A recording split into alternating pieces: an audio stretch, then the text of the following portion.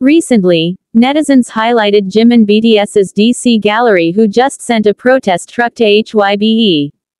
DC Gallery Jimin BTS allegedly sent a protest truck due to chart problems on Spotify.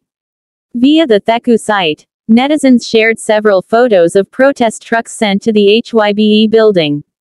Previously, HYBE had received two protest trucks from BTS which at that time was regarding contract renewal. And today November 13th, HYBE received a message from DC Gallery Jimin BTS who had a problem with his position on Spotify. DC Gallery Jimin asked for an explanation regarding Jimin BTS's solo debut song which was separated on Spotify because it has two languages. DC Gallery Jimin also said that he actually received RIAA Platinum certification but this was not explained by HYBE. Apart from that, Jimin's DC Gallery also asks HYBE to explain Jimin's incompetent CD album, even though he had the opportunity to win at the Billboard Awards. DC Gallery Jimin BTS even forced HYBE to apologize for neglecting service. DC Gallery asked HYBE to treat Jimin well.